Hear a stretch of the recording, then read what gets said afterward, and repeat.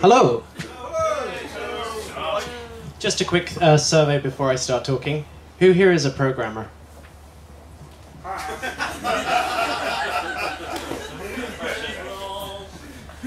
Who here is interested in learning to program? Excellent, there'll probably be more useful advice in here for you.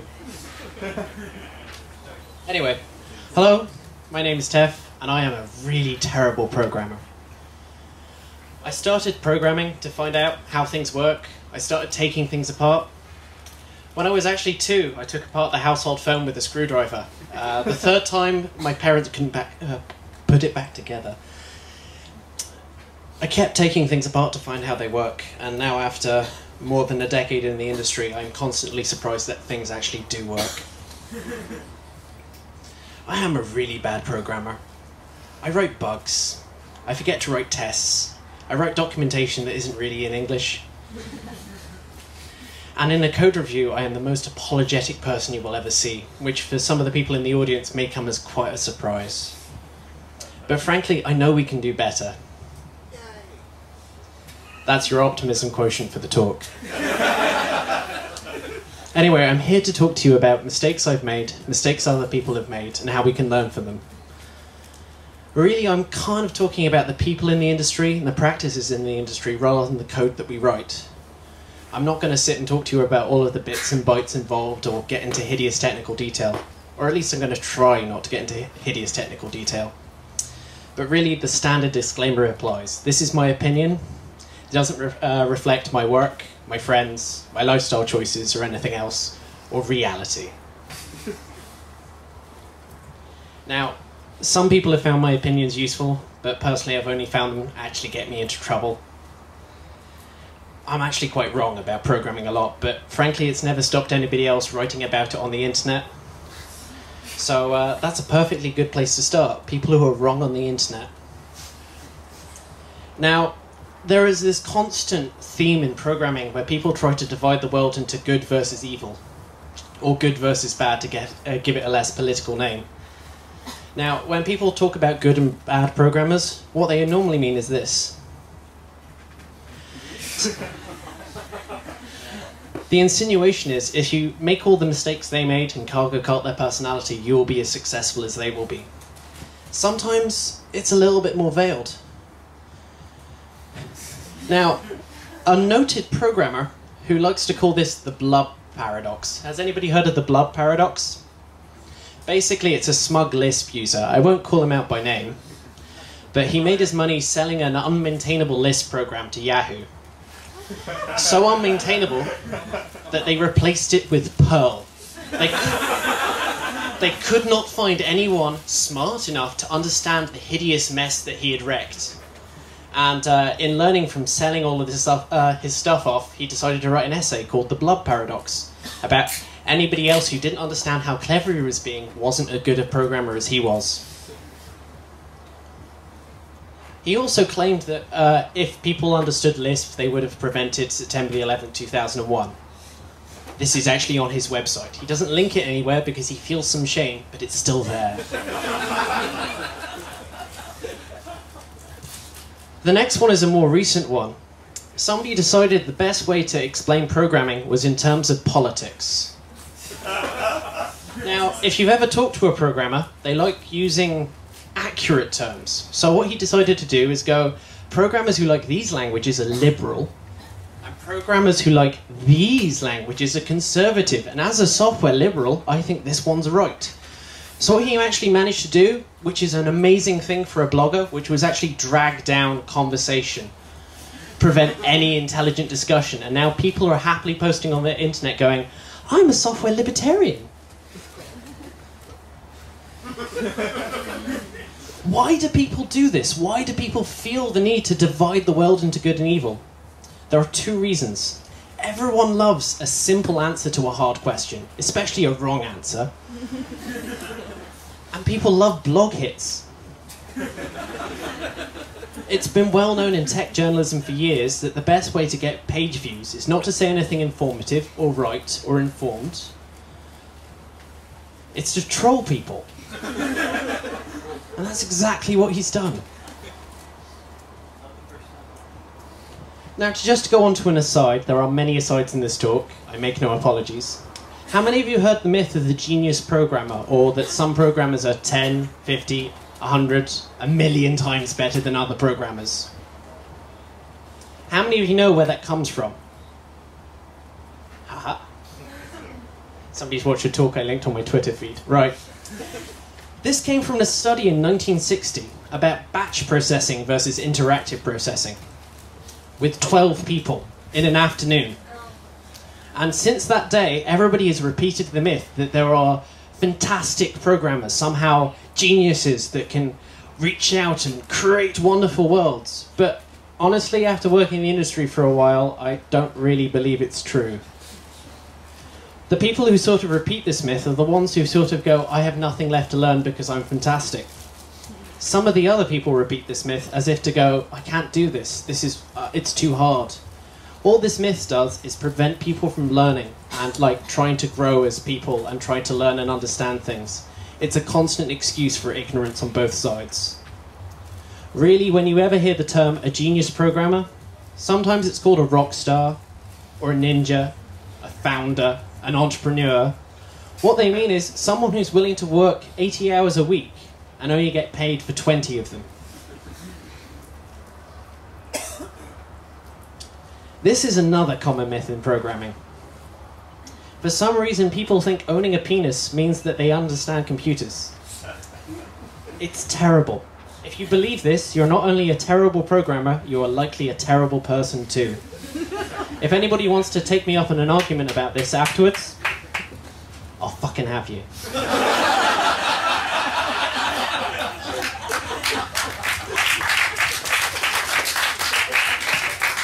I'm really hoping once we can sort the gender divide, the race divide in programming, we can move on to more important issues closer to my heart, like tabs versus spaces, but I don't actually have a lot of hope.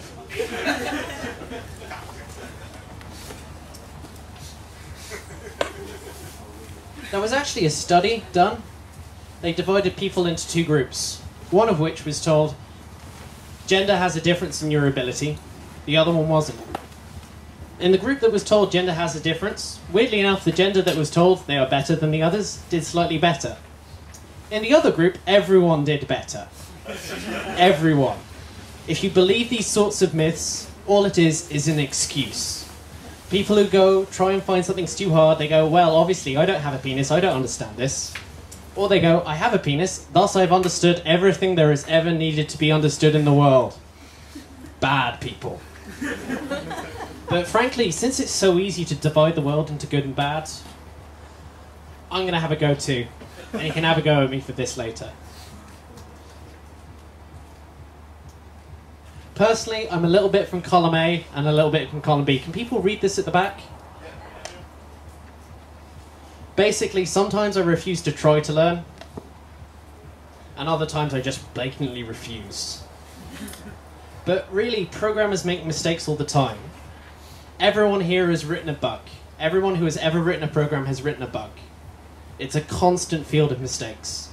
But the biggest mistake I've ever seen in programming is optimism.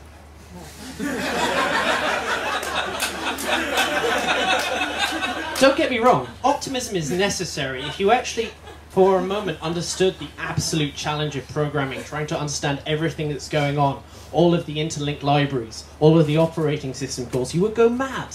Absolutely insane.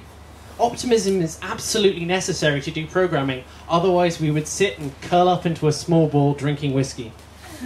But you can tell an optimistic programmer, they have this saying. It goes, You would think that. You would think they would be able to sort this thing out. You would think that they'd be able to fix this bug every time they're being optimistic.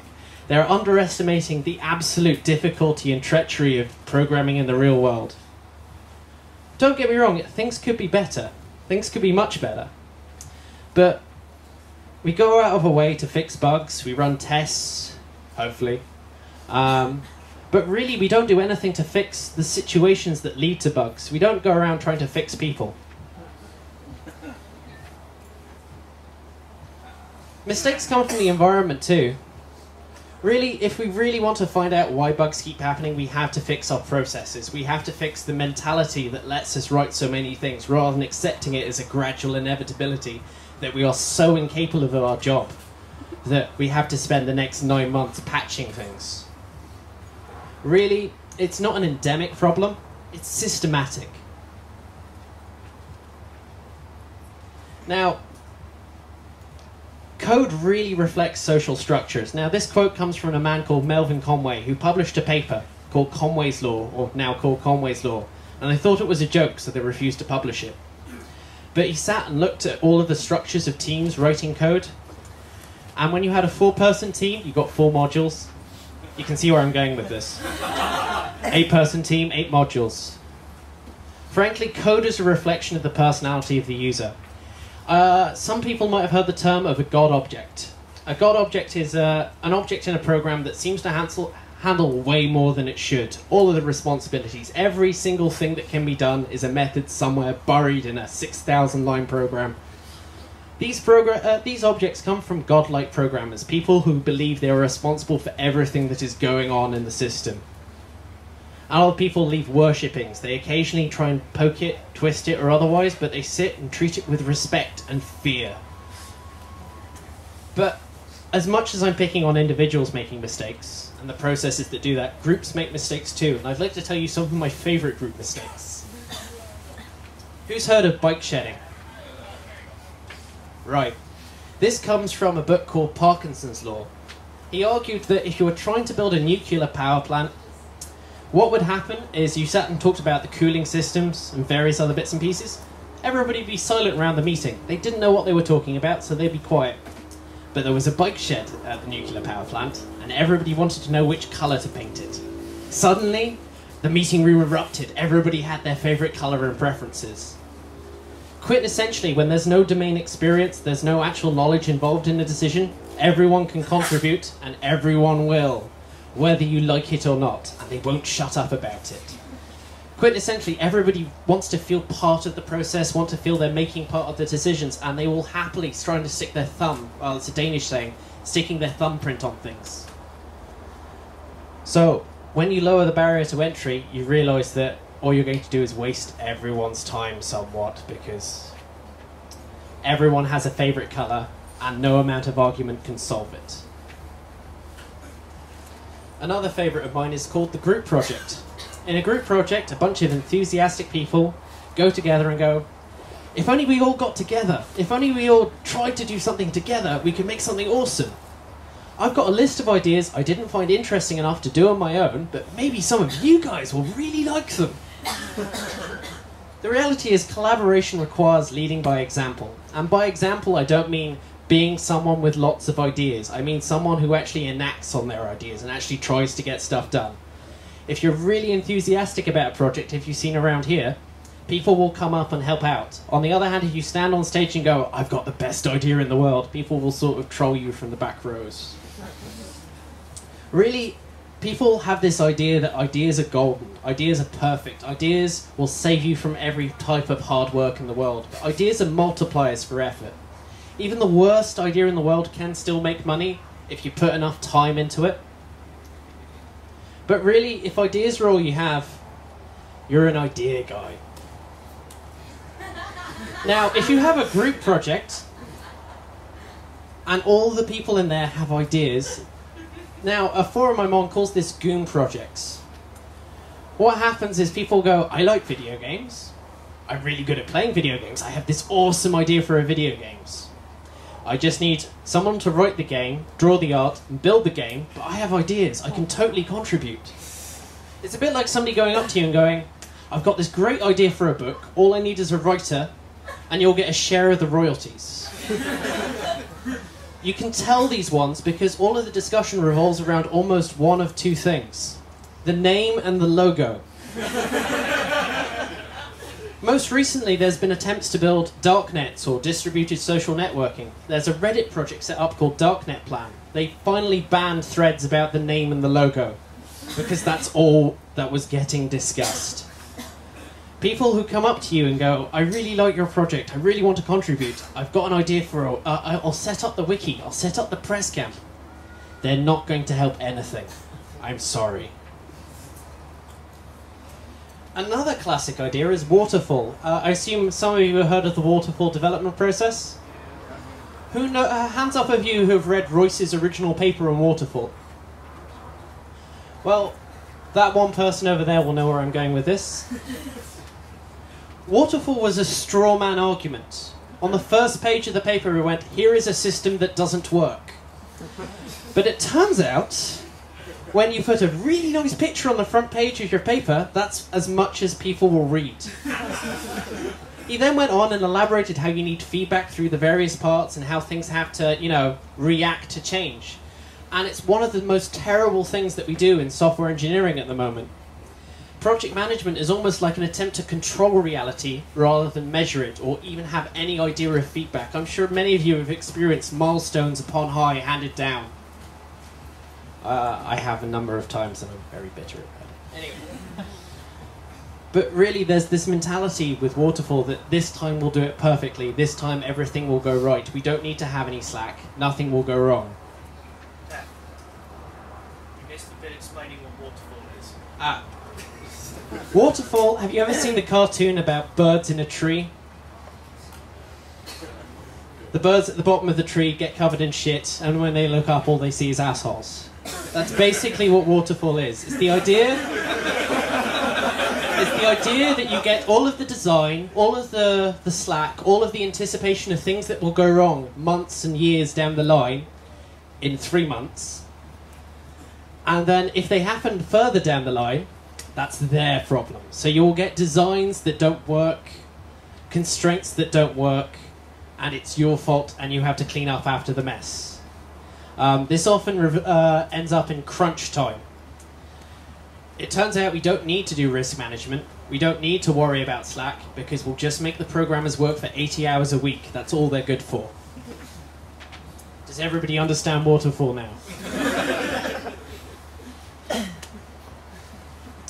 But really, it's not just people, practices, methodologies, companies. We also don't know how to find good programmers or reward good programmers. Now, how many of you heard of brain teasers and interview questions?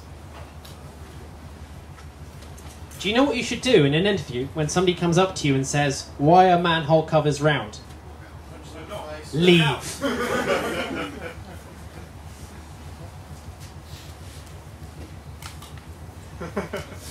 Now, how many of you heard of the Wason selection task? The Wason selection task is you get four cards on a table, two are face up, two are face down. One's red, one's black, and there's a, a patterned back and a plain back one. And you ask people, how many cards do I have to turn over to check every card is red? And when you ask it like this, people often say three because they're not checking for contrapositives. Now, I don't really want to go into this complete cog sci thing, but it turns out that when you ask in- instead, and I, let me rephrase the question, you have four people, two are over age, two you haven't checked the age at all, one's drunk, one isn't. How many people do you have to check to see that you're not breaking the law? When you phrase these questions in a social context, everybody gets it right. When you ask it in an abstract context, no one gets it right domain experience is absolutely vital for problem solving. Really, when somebody is asking you a brain teaser question, what they're trying to do is prepare you for terrible management. They're trying to say, I've heard people excuse this and say, well, I know we're not hiring for a quiz show host, but the management like to ask really arbitrary and stupid questions all the time, so that's what we do in the interview to filter out the sane ones.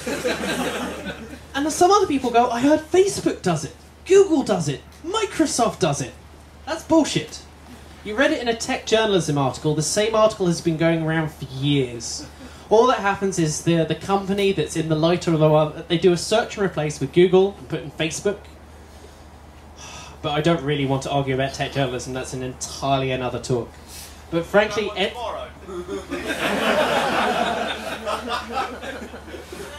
But frankly, if you find a company asking brain teasers, it's a really good sign that the job is terrible and you should leave for your own sanity. I've made this mistake countless times and I don't want to see anyone else do this.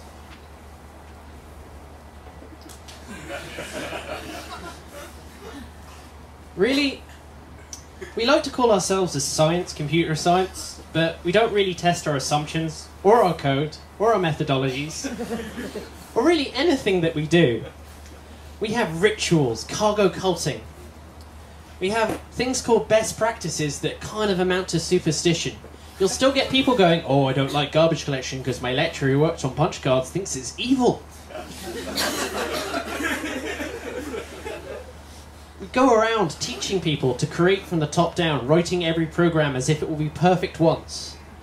And four years in university, I was never asked to maintain a program, fix a program, document a program, test a program, and it's very rare that these things happen in practice. But then, unfortunately, if you actually get a job programming, that's all you will ever be doing. For some reason, we have this idea, almost like pyramid builders, that we're building this gigantic obelisk that will stand for thousands and thousands of years. I'll apologise to the embedded programmers in the audience because those things are kind of true. but for the rest of you who are writing web apps or skins around databases, as I like to call them, almost all of the work you are doing is talking to other programmers, finding out what's going on, reading code, not writing it. Now, I don't mean to go off and like have a go at prototyping or experimental coding. Experimental coding is fantastic. It helps you go off and understand the problem, fix it in your own head. But when I've written prototypes, almost everything I've learned has been from pushing it into production and then fixing all of the really stupid ideas I came up with in the first week. But to move on again, I've talked about a number of bad things in programming, but I haven't mentioned the next one teaching.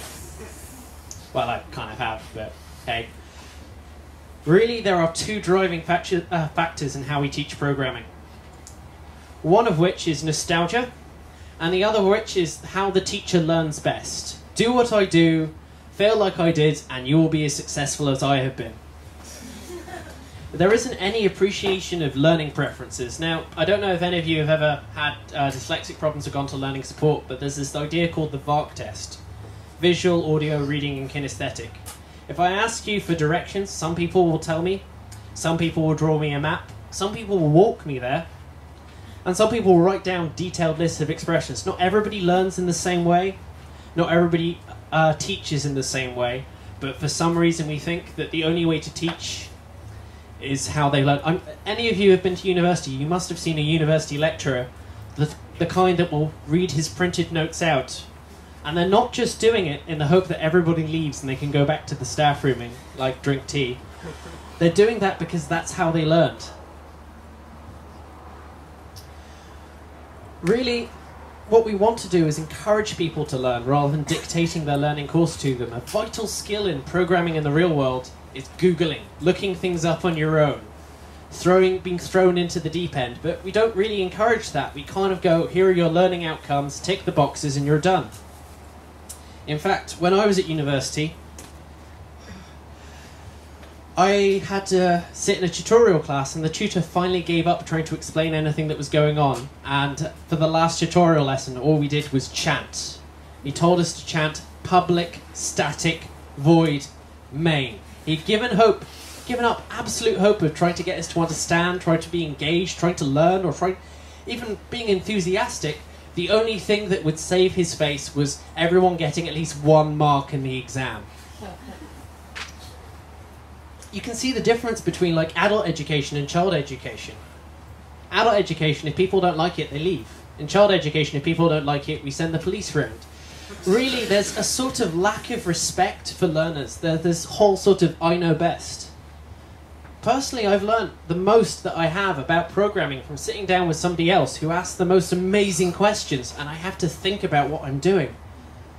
I haven't learned anything from being on my own, or just assuming that I know everything from the beginning. So, really, if somebody asks me, I want to learn how to program, my first question, and it should be a question that you ask rather than telling them straight off, is what do you want to create? What do you want to build? So, just on a bit of uh, random unsolicited advice, if you do want to learn programming, find the languages and the tools that your friends use, because otherwise you're going to be screwed when you need help. find something that's easy to install. Find something that doesn't require going through a 300 page manual on how to open a certain dialog box and navigate through the menus. It's just not fun. Don't worry about object orientation, functional programming, and all of the crazy things that some of your friends with weird hair are talking about. really, learning to program should be about play. It should be getting things up and running in an afternoon and seeing what happens. It should really just be about poking things and uh, hopefully not crashing your computer. Learning programming shouldn't be the means to an end. It should be something you're doing in order to do something actually fun. Now, I've touched on the idea of learning through play, but what I like to suggest is people they get a sandbox environment. They find like have you has anybody ever used Logo or Turtle graphics? Keep your hand up if that was the first language you ever started. Yeah, that's why you're stuck with it.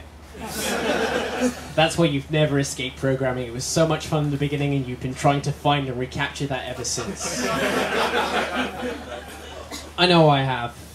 Now, I am recommending all of these things, and I talked about how nostalgia and learning styles kind of dictated how people teach, and I am totally guilty of this because my first language was Logo too. Logo was introduced by Seymour Papert in a book called, well, he wrote about it in a book called Mindstorms. If you're wondering, the Lego set is named after the book, not the other way around one of the biggest ideas that Mindstorms elaborates is this idea of the math world, this idea of an environment in which the person at the front of the computer can dictate the terms, dictate the rules, dictate how things happen. A beautiful story was someone who was having trouble writing English, having trouble getting all the, the verbs to match, the tenses to match, was asked to write a poetry generator. And as they sat trying to encode the rules of grammar, a very simplistic grammar, I'm not suggesting anybody try to encode the rules of English grammar and programming. I don't want anybody else to go mad. But as they sat and did this, they suddenly clicked because they suddenly found a way to formalize, to sort of internalize the rules of the thing that we're doing. It was no longer a black box, a thing that mysterious things happened and stuff came out the other end. They could actually see the effects of the changes they made, and it helped them learn. Uh, Piaget and constructivist learning, if only if you want to Google this later, it's totally awesome. There's a similar idea that's been espoused in math education. Now, a lot of math education is basically treated as a death march through formula. They call it problem solving, but really what they mean is find that bit of the book where we told you how to solve this problem exactly and then write it down on the piece of paper. Instead, they argue that you should teach maths by asking people how do we measure this, the if you have a box and you want to know the volume, you ask the children, how do we measure the volume? And they all come up with ideas all on their own, as if by magic. It's almost as if they're like enthusiastic before school crushes it from them.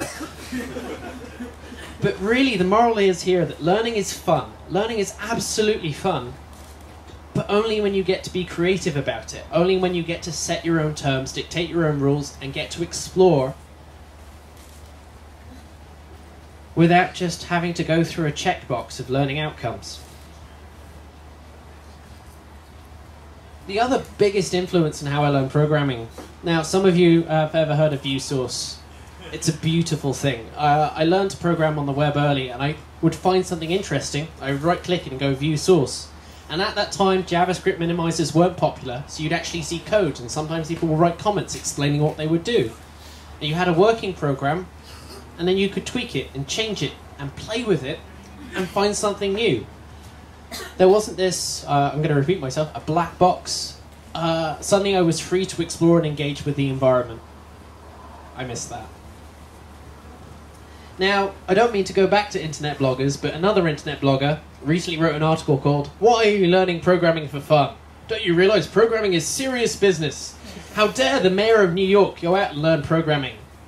There's so many things to learn and so many things to do. It's like maybe it was fun for them. Maybe they're enjoying themselves, and maybe that's actually how you got into it in the first place, you hypocritical bastard.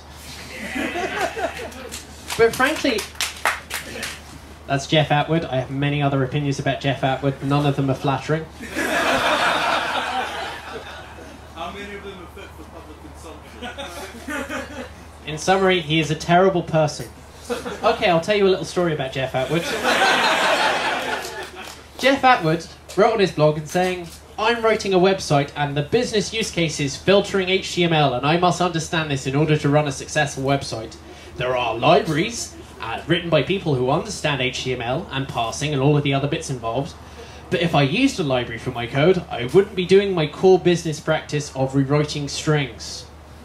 So he published his algorithm and people broke it, published it again and people broke it. And then after a month of everybody telling him to do it the way that all of the libraries already do, he kind of grudgingly took their advice. And now what he says is, now I've gone through this learning experience, none of you have to do it. You can all use my library. You don't have to go and do this in the first place. With no hint of irony. He is a terrible programmer. But really, if you're going to tell people off for learning and playing and exploring, you're a bad person and I hate you. now, kind of touched on misogyny before, but this is just kind of a jokey title. Now, some people say you have to learn C. C is a real language, it's used everywhere. Real man use Fortran. Real men eat quiche. The thing is about C, it's actually quite hard. It's actually quite old. There's a lot of things that you need to do to get it to up to get up and running. I've seen so many embedded programmers going, "Oh my god, why do I have to include files? What the fuck is this all about?" Really, when you're trying to learn to program, you want to get something up and running, not in an afternoon, not in an hour. You want something up and running now. C is not the language to do this. Now, once you've become comfortable with the shell, become comfortable with an editor, become comfortable with the idea that you run, it crashes, you go and try and fix the problem, you cry a bit. Once you've come to terms with how terrible programming is, C is a perfectly acceptable second language. But frankly, forcing it down beginners' throats is just going to scare people off from the outset. Although, admittedly, I'm pretty sure that's what this talk is doing from. C is character building. Now, other people will tell you that you need to use what's used in industry. Now, I'm not saying that you need to go out and use these uh, Scratch or various other things and they're bad. They're, they're actually quite fun. But some people will say, oh, you must learn Java because you want a job in programming. You don't want a job in programming. now, the thing is about object orientation is we only developed it in about, well, actually, we developed in 1964, but um, we've only come to terms with how useful it is in certain places after we've actually written large enough programs to benefit from them. Now, I mentioned before about chanting public static void main. This is what happens when you try and teach object orientation first. You spend the first hour explaining everything that they have to ignore in order to get the thing working. Now, I don't know about you, but teaching people the first lesson of ignore this, ignore this, don't ask questions about this, this is too hard, doesn't sound like a really good way to encourage people to be exploratory and creative. Again, it's a better second language, not a first, but uh, maybe third, fourth, fifth, somewhere down the line. Now, a lot of people, when they're learning, they look for ways to avoid learning. Uh, some of you who hang around on forums on the internet where people are asking questions will go, I want to know if this will work, this three line program, and I'm too afraid to run it and see what happens, so I'm looking for some reassurance. This is a direct effect of this overcomplication of learning. Really, people learn with a review of trying to avoid as much work as possible, trying to cut their losses, because some things that you want to learn are just really, really, really hard, and it will take many, many years of your life. So, I don't think we should be teaching complicated languages. I don't think we should be teaching languages that demand that you ignore things, because all it will do is encourage people to ignore things in future and write comments on random people's blogs going, please can you send me the code? Now, another thing about learning programming is some people are like, programming is mathematics, so you must understand group theory, algebraic geometry, and differential geometry. Now, don't get me wrong, maths is important to programming. Maths is very important to programming because, like, uh, there's things like floating point, also known as the incredibly misleading numbers that never really work the way that you want them to. The thing is, not many programs actually demand that much mathematics beyond counting. If you can use a spreadsheet, you already know pretty much every single piece of mathematics you will ever need to know in programming in the real world. programming is part mathematical, but it's not going to be like cryptology or differential geometry. But there's the same sort of uh, reasoning behind it. There's the same sort of working things through. What I'm really trying to say here is not that programmers should be mathematicians, but programmers are mathematicians. And if you disagree with me, there's a big, big paper called the Curry-Howard isomorphism that says that proofs are programs. But you can look that up when you go home. But ultimately, programming is not just one thing, it's an interdisciplinary thing. You need to be able to write in your native language. You need to be able to have critical reasoning. You need to have engineering discipline, and you need to have that whole sort of mathematical reasoning as well. But the most overlooked skill in programming is understanding the domain of the problem that you're actually solving in the first place. Now, as I slowly get to the end of my talk, I thought I'd share some tips on how to be a successful programmer. But as I said in the beginning, I'm a terrible programmer. I burn out in jobs, I go mad, I drink too much, etc. But other people seem to get along really well in programming, and I've sat and watched them, so I thought I'd share some of the ways in which they do this. Don't write documentation. Documentation means you're replaceable. If you fix a bug, make sure it fixes only that case that they've talked about so that somebody else can reopen the bug later. the standard library is evil. Don't use things other people understand. The best code is the one that you've written yourself. Go crazy with advanced features. Object orientation is not crazy enough. The type signature of your function should be at least 50 pages long. I had a boss who was a PhD. I shouldn't be mentioning about this because it's being recorded, but the thing is, whenever he wrote a program, it wasn't to solve the problem, it was to demonstrate how smarter he was than everyone else in the room. Every single feature was in a different file, and it was fine for him. He could keep all of this complexity in his head. I'm really terrible. I'm really stupid. I can't keep any of this complexity in my head whatsoever, and I constantly struggled to do any of the things that they were doing. Eventually, I caught up and I realized that the entire program was stupid from the outset. So, uh, but uh, that's another story entirely. But really, uh, you, you want to use an abstraction, modules, especially if you have to use all the modules together in some weird, awkward incantation to actually get them to work. That works wonders. Um, at a previous com- uh, company, we had a term called Andre bugs.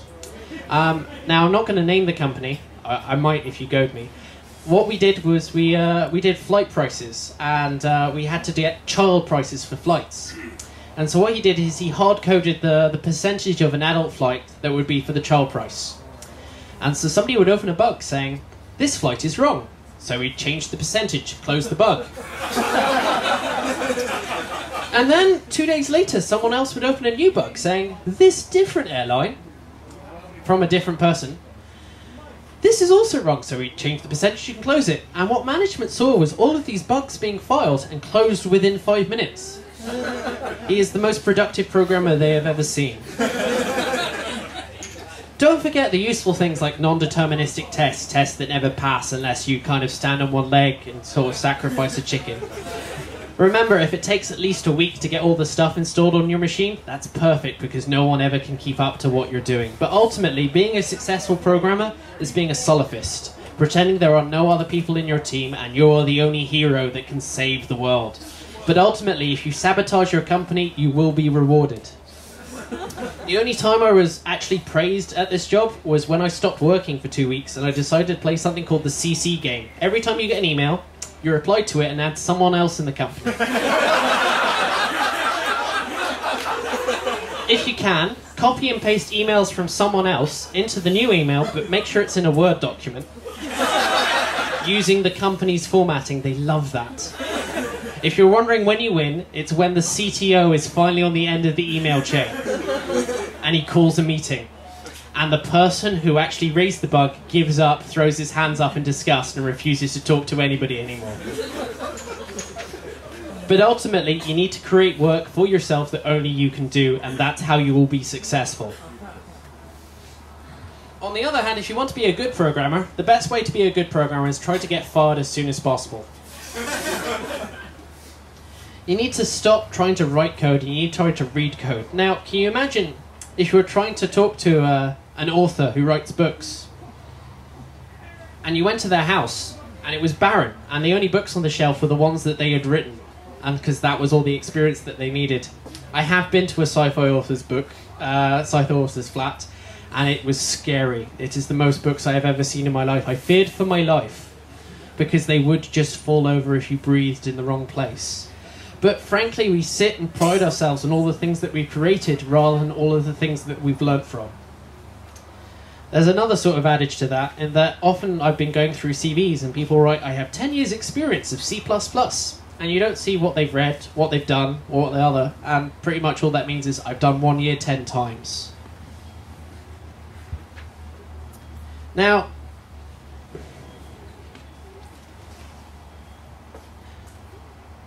sorry, my notes are wrong. I'm going to have to improvise now. Now, sometimes people complain that it's really hard to estimate about work and work out what actually needs to be done. But I'm not sure if that's because we're constantly reinventing new stuff, or we kind of refuse to read about all of the people who've done it before. Uh, I'm still on the, the fence about that one. But really, what you really want to do is write code as if you're going to get it wrong, as if all of the assumptions you've held dear will be absolutely stupid. Write code as if you can delete it tomorrow and replace it because almost certainly you will have to.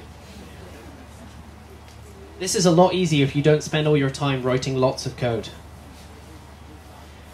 Empathy is fantastic in programming. We need a hell of a lot more empathy. There's this horrible trend where if you ask programmer a hard question, they'll go, "Well, we'll put a checkbox in the program and leave it to the user."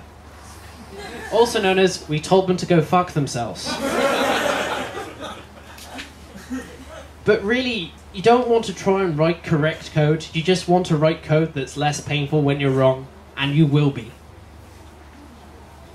Really, the moral is you want to write code that's easy to replace, not easy to extend. Anyway, as I slowly wrap up and await the inevitable trolling questions, I hope. I have a final warning. Although I've talked about many of the problems in the software industry, programmers, I'm going to repeat that programmers because it deserves extra bitterness. Management, companies, methodologies, tools, practices. The software industry is terrible, but pretty much every other industry is too. Even if you retrain, you will not be able to escape other people. Thank you.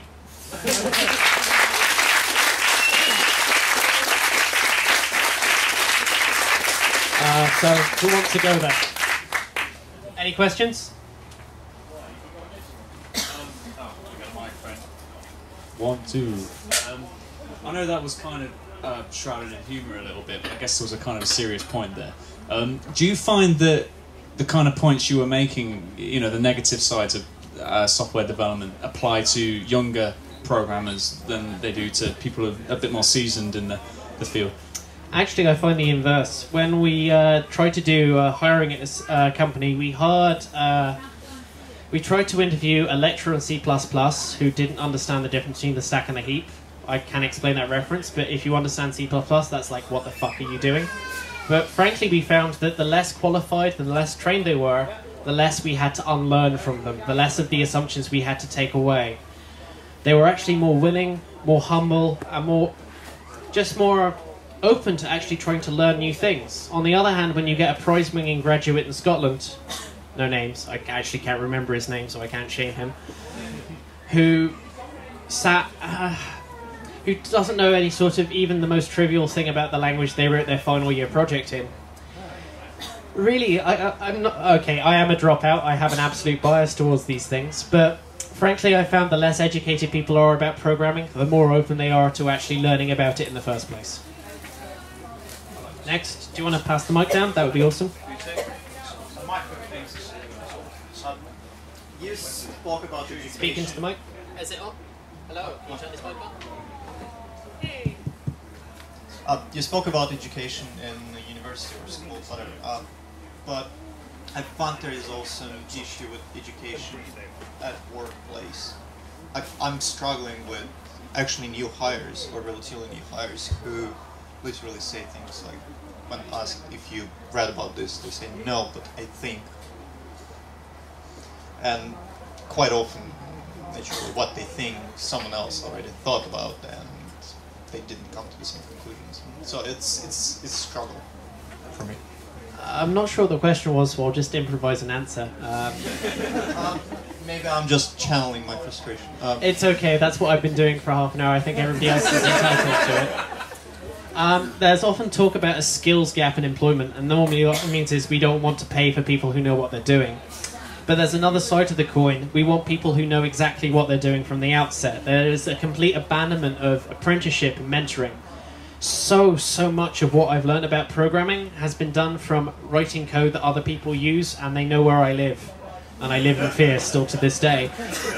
But we kind of almost expect everybody to know things absolutely from the outset. So either you need to aim higher or aim lower. You need to either pay more for the people who you actually think will know these things, or you need to be willing to spend time to invest in the people and get them to learn. But when you do invest in these people, they're really easily exploitable and they'll happily work for long hours. So it kind of works out in your benefit anyway. Is there another question from the audience? If you want, raise your hands. I promise not to be too mean. Or have I stunned you all into silence? Excellent. Oh, oh, one more. Oh. Given what you say, I know it's Uh, this is kind of a hard question to answer, I guess. I love hard questions. where where would you say the solution is then uh, to these kind of problems? I know there's a big question, uh, but but let, let me put it this way: The- there's, there's this thing, isn't there? The C pro, uh, this, what's it called? The C thing, where they try and get kids to learn programming in schools. Do you think that's a solution? Do you think teaching kids how to manage managers is a better solution? You know. It depends. Um, uh, to give you a simple answer to a hard question, something I called other people out on for earlier, with no shame. Now, the thing is, it's a really hard problem, but that's because it's lots of different interlinked problems. Really, if you give me a more specific example, like uh, I'm young, I'm going to a company, I want to learn things off my own back, sort of thing. It's the honestly, one of the uh, I'm not sure exactly what the solution is, but uh, one of the things I think would be better is kind of uh, breaking the whole, for lack of a word, patriarchy in uh, programming. There is so many angry young white men in programming, hi, who basically go around assuming that they know everything. There is a complete lack of uh, diversity. So I think if we get more interesting people with different backgrounds or otherwise, we can start to get along and start to learn from each other a little bit more. But frankly, what we are right now is an entirely a monoculture. And we all go around repeating the same old myths, the same old lies, and uh, back patting, uh, patting ourselves on the back for it. Again, it's a really good question, and I'm sorry I don't have an absolute answer to how everything is terrible and how can I fix it. But it depends on who you are. The, the old cliche of think global, act local. If you're at a company and it's bad, talk to your managers. If they're terrible, leave. Um, uh, that's very easy for me to say, but there are many, many, many things you can do to fix your environment, but I can't really give you anything other than platitudes in order to do it. Although, if you want platitudes, I, I, I, I would have more, but I've kind of run out. Is there any other questions that are hopefully easy in a single that I can answer in a very trite and simplistic way? There's a man at the back. Could you run to the. Oh, oh, actually, let's take a question from the front. We'll just go closest first. Hello. Um, do you think that university is a good way to train programmers then, or do you think people should learn straight out of school? Oh, another hard question. Right. Um, one of the things I tried to talk about is how programming shouldn't be a means to an end. We shouldn't be teaching programming. We like there is this whole talk of algorithmic literacy, the idea that uh, programming will become as important as reading and writing to other people. And so I don't think we should be teaching programming in the sense of it stands alone. This magical tool that has no uh, means or almost like a completely theoretical subject, almost like pure mathematics. But as you can see with mathematics, it's been branched out to physics, chemistry, sometimes biology. If you're pushing it, statistics, and if you're really pushing it, economics. But uh, I think programming should be actually taught fairly early on, just because it's a fantastic tool. Uh, the computer is a gigantic lever of which you can move the world. When I was a kid, I was constantly. Uh, the first time I ever saw satellite pictures of my house on the internet, I was amazed, and I'm still constantly amazed at the internet. Like watching pictures live from space over an internet link on my mobile phone. but really that only happened because no one thought it was interesting enough to put on TV. But I'd say the way in which we're approaching teaching programming is wrong because we're teaching it as a solitary skill, something that only stands on its own, rather than programming something that can be so much more useful in other fields to actually achieve really interesting and useful and fun things. Now, you can see this in bits like the demo scene, the music hackers, the bioinformaticians, where they're going off and writing very, very simple programs, and they all feel really bad about it for some reason. Oh, my code's so terrible, I don't know what I'm doing. Are you solving a problem? Yeah, it's really awesome. Yeah, you're fine. And instead, we celebrate all the people who seem to just write programs for their own sake, programs that are just complex messes or otherwise. I'm not actually sure if that answered your question. I kind of went off on one. Does that answer your question? I guess that'll have to do. And there was a question at the back. Do you want to? Uh, thank you for passing the mic back.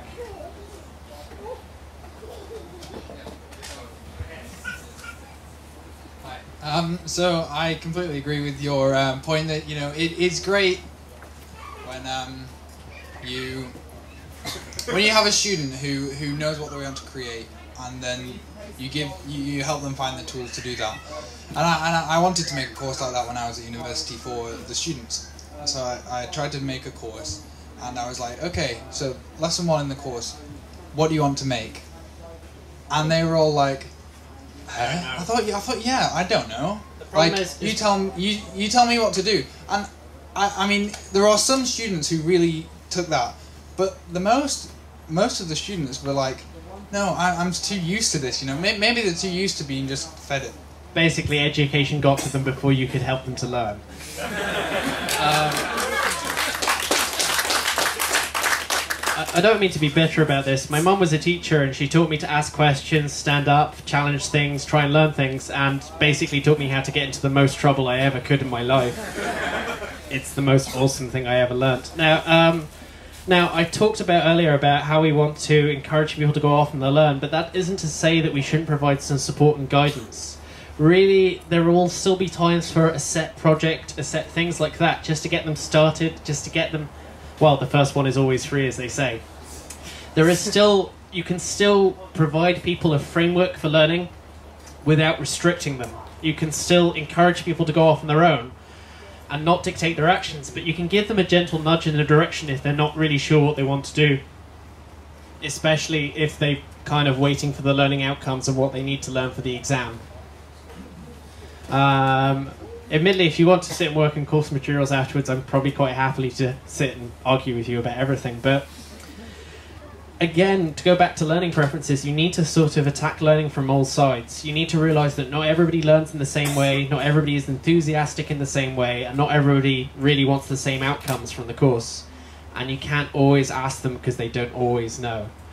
It, it, it is a bit of a very hard thing to put upon a teacher to sort of go, well, you have to sort of encourage them to do it without telling them what to do, except, of course, when you have to tell them what to do. Um, I'm sorry to kind of put that cognitive dissonance on you, but frankly, if you're teaching, you already probably have quite a lot of it already.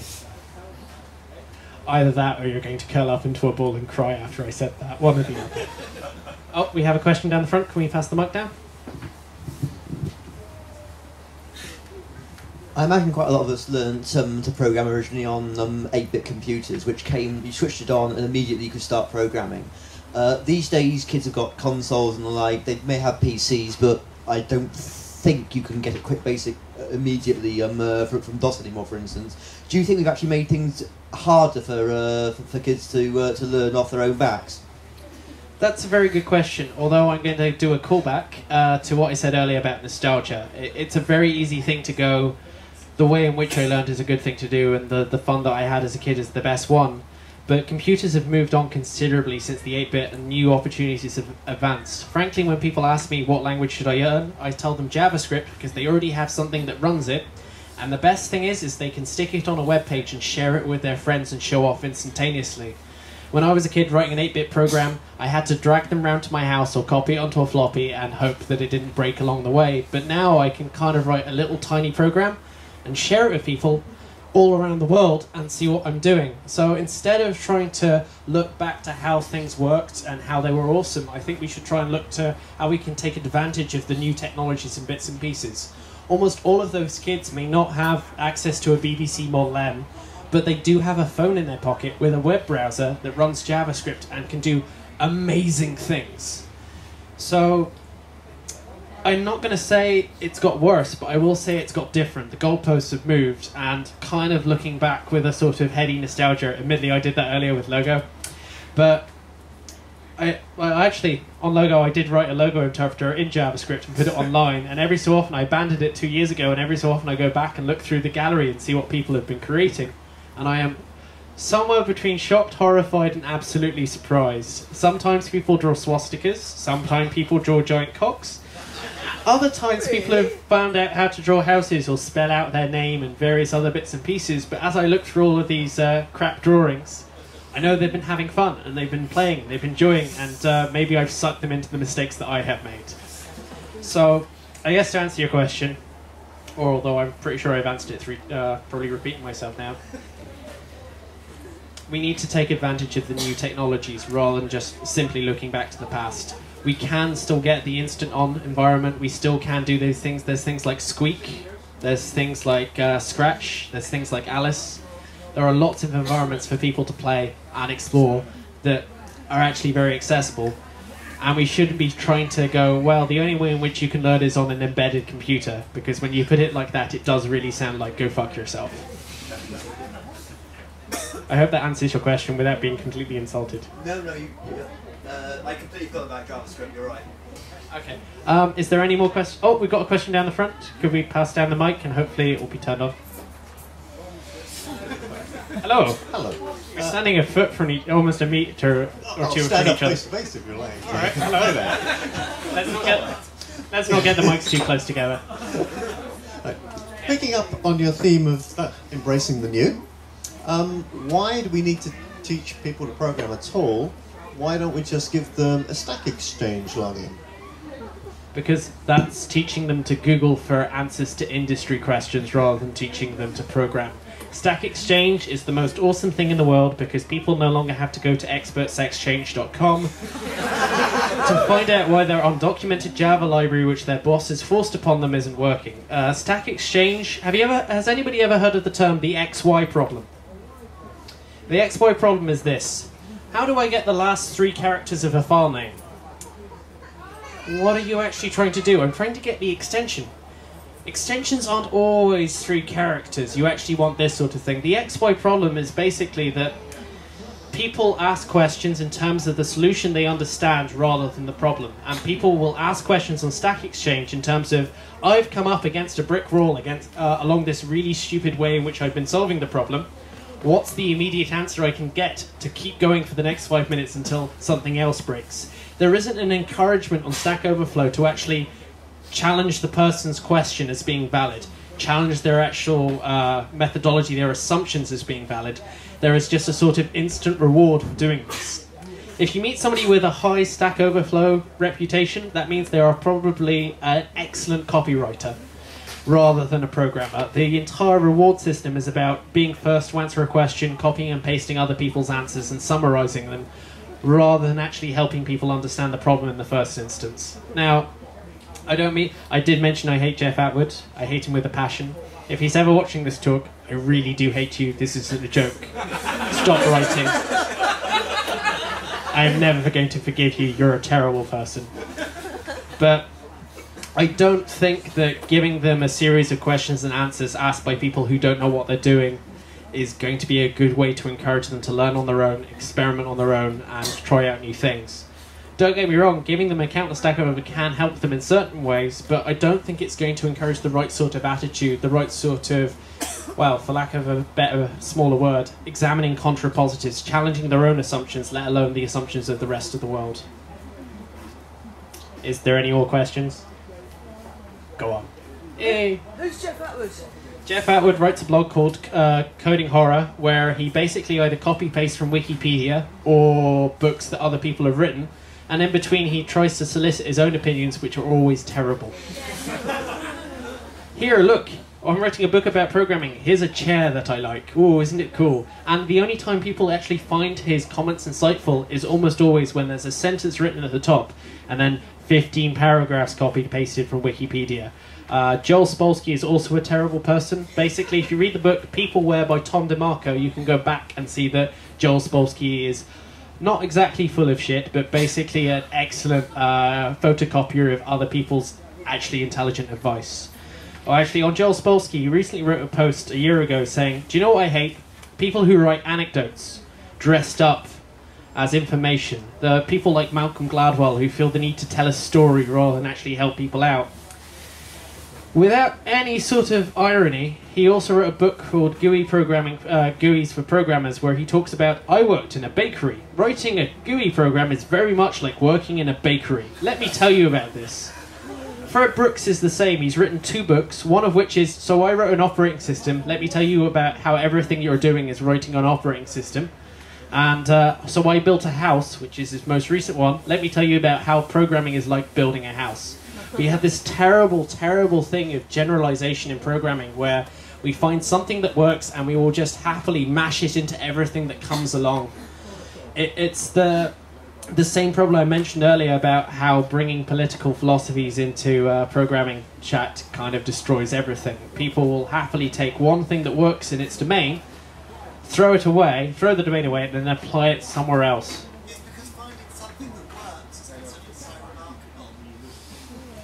Well, uh, somebody from Baxter said finding something that works is considered so remarkable. Not unless you get it right the first time. Um, uh, JW a rant going, there's nothing worse in life than getting it right the first time because no one will ever believe you. And they will spend all of their time making it wrong repeatedly until they slowly learn the things that you learned in order to come to that decision.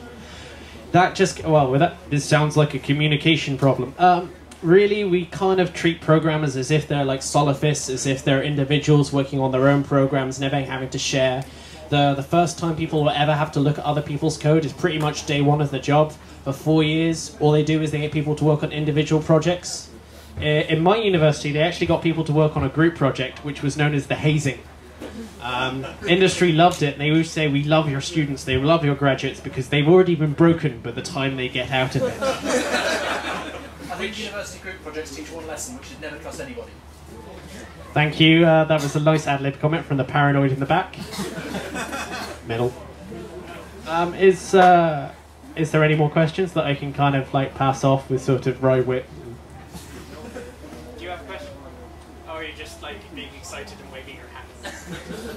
That wasn't a question. Oh, we've got a question over there. Um, you can use the mic if you like, or I'll just repeat back what you said in a way that makes you know uh, makes it an easier question to answer. What's your feelings on the proliferation of courses, very specialized courses like learning video game design as opposed to general computing? Whoa! Oh, excellent question. That means I have to think about it before giving you a glib answer. Um, I actually met somebody who's been teaching a video game course, and it turns out in the industry, they uh, video game courses actually need specialized skills. A lot of the computer science courses teach more general application things. They talk about theory, state machines, various other bits, architecture. But they don't teach you how to use uh, OpenGL. They don't teach you how to use OpenAL. They actually require quite a lot of uh, experience and knowledge. And so what they were saying is we're going to teach these courses so we don't have to spend two years bringing graduates up to scratch to be good games programmers. Now, it does depend on the course. The, the, the lecturer I did meet seemed a very remarkable switched on person. And uh, it turns out that course is actually ridiculously hard. It has an incredibly high fail rate. They've actually gone, we're going to dump you in the deep end on C, and that's all you're going to do for the next four years. So, introducing specialized courses that are actually harder, uh, more demanding. I'm not going to try and do the whole ma- uh, machoism thing and say it's a good thing, but it does mean that they're actually trying to rigorously push people into that domain rather than the whole sort of uh, here look use click and play you're a games developer now. Hooray!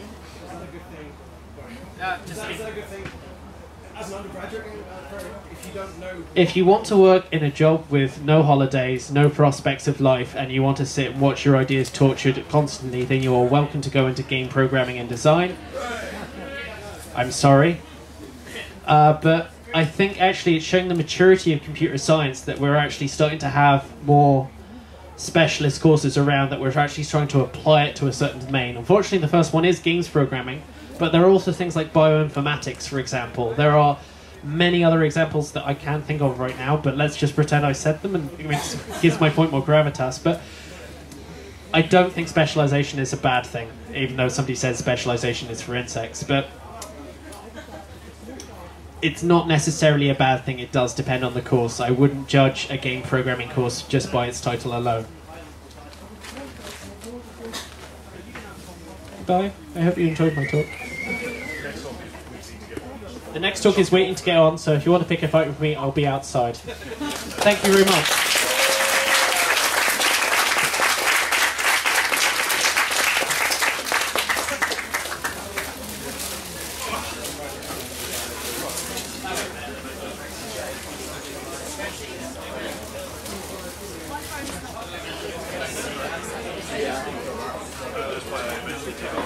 Yeah, I, I, I, I really like it.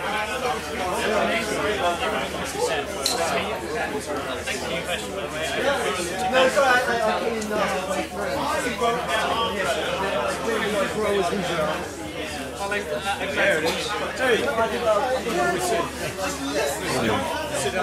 You prepared for your talk? Hey, real quick.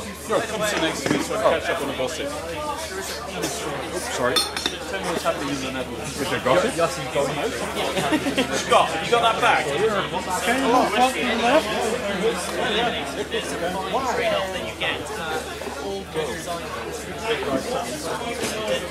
Oh, yeah.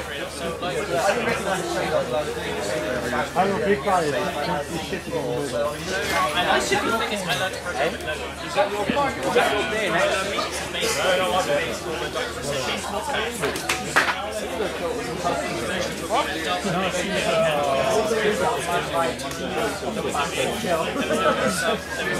I'm young.